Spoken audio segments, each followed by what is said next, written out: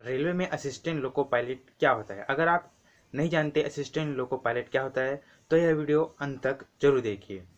Assistant loco pilot मतलब assistant मतलब सहायक।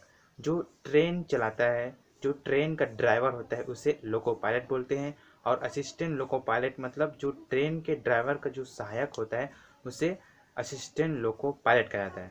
तो असिस्टेंट लोको पायलट बनने के लिए आ, क्या क्या शैक्षणिक योग्यता लगता है और असिस्टेंट लोको पायलट बनने के लिए कितनी आयु सीमा लगती है और उसका कितना वेतनमान और भत्ते आदि सब मिलता है और किस तरह आप एक लोको पायलट एक असिस्टेंट लोको पायलट बन सकते हैं, मैं इस वीडियो में पूरा डिटेल से डिटेल के साथ बताने वाला हूँ। तो इस वीडियो को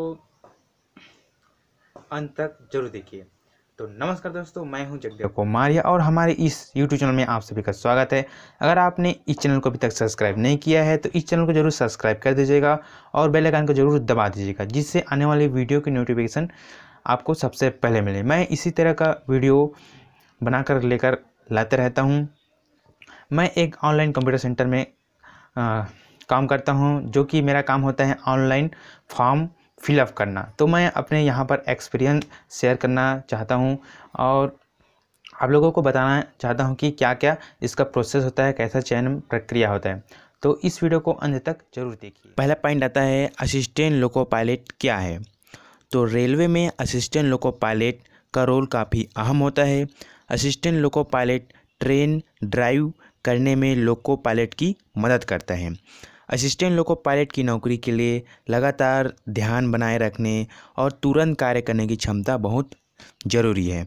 असिस्टेंट लोको पायलट ट्रेन को ड्राइव करते समय लोको पायलट सिग्नल भेजना लोको के सही तरीके से चलते रहने और छोटी मोटी रिपेयरिंग को ठीक करने में मदद करता है।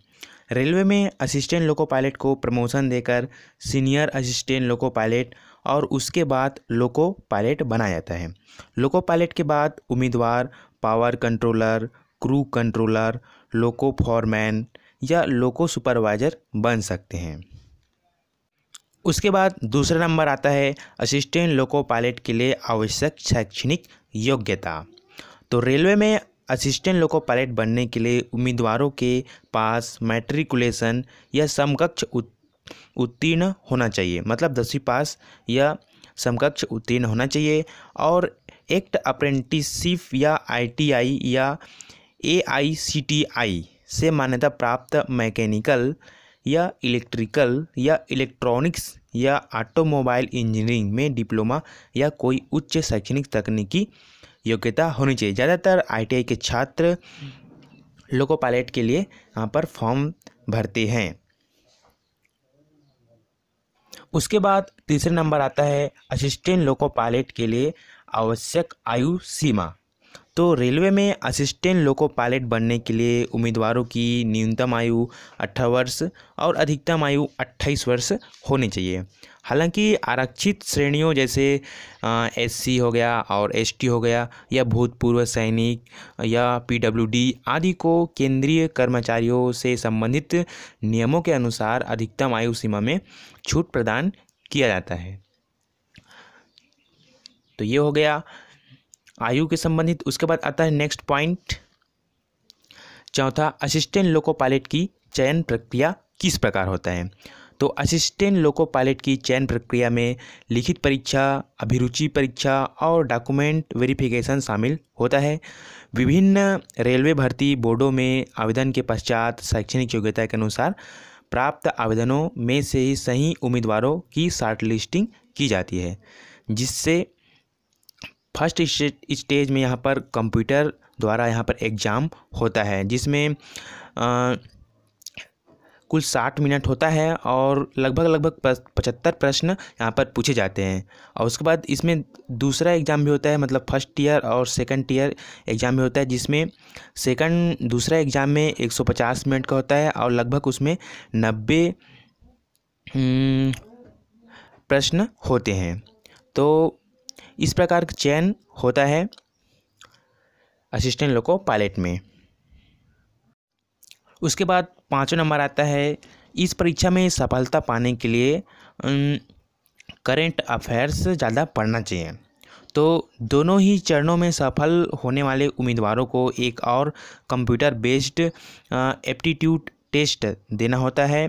इसमें इस परीक्षा में सफल घोषित उम्मीदवारों को डॉक्यूमेंट वेरिफिकेशन के लिए बुलाया जाता है। असिस्टेंट लोको पायलट के लिए आयोजित होने वाली फ़र्स्ट स्टेज सीबीटी मतलब कंप्यूटर बेस्ड टेस्ट और सेकंड स्टेज सीबीटी मतलब कंप्यूटर बेस्ड बेस्ड टेस्ट में नेगेटिव मार्किंग भी होती है, जिसके अनुसार प्रति तीन गलत उत्तरों के लिए एक अंक काट दे जाते हैं। तो इसमें ध्यान रखने वाली यह बात होती है कि हिसाब से यहाँ पर क्वेश्चन आंसर को बनाना होता है। उसके बाद आता है दोस्तों, छठो नंबर असिस्टेंट लोको पायलट को मिलने वाला वेतन एवं भत्ते।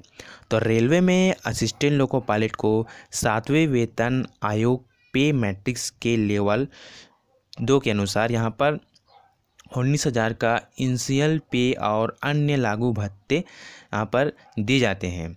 तो भत्ते में dearness allowance, running allowance, house rent allowance और नाइट ड्यूटी अलाउंस और ट्रांसपोर्ट अलाउंस दिया जाता है।